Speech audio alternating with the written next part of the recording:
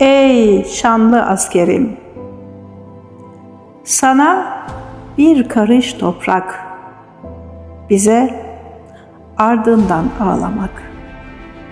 Sana etinle düşman toplarına siper olmak. Alnında bir kurşunla semaya bakmak. Kurşun yiyen yüzünde açan gül. Al kanın döküldükçe gül gül olup açılmak. Bize sadece bakmak, bakıp kalmak düştü.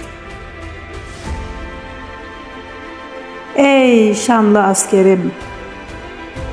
Sana taze kanınla tarihe destan yazmak, adını nesillerin yüreğine kazımak, bir çift çarık, bir dilim ekmek, ah bir yudum su, bir yudum suya hasret, mermi seslerini en içli şarkılar saymak.